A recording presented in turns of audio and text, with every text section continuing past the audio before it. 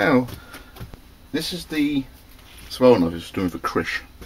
Now he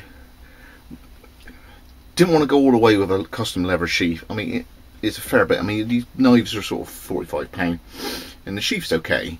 It's just the retention straps crap. Great piece of leather, great snap. That ain't no good, and it's no good up here. So I added that on. You wanted a ferro rod, so if we up the light ever so slightly, I've done that for you, alright Krish? And then that way, it's a lot cheaper for you. It was just a case of unstitching that, making a loop, putting it in, gluing it, and I stitched it back up neat and tidy. Alright, so it's lock stitched in there. You got a shock cord, golf ball ended thing, so that, that won't come out that doesn't go across the top of there.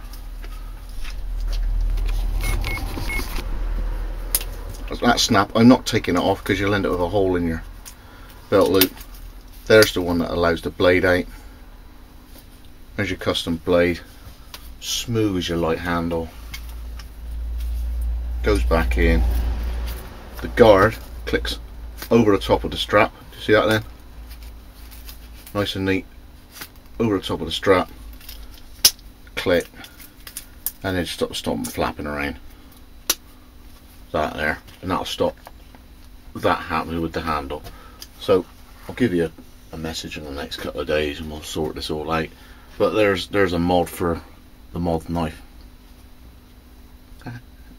I try I try and chuck these bombs out there these funny ones but yeah that was a bit flat on it. Right so Emily survivor knife pimped out economically. Next time again, Scuffle Wessex Blades.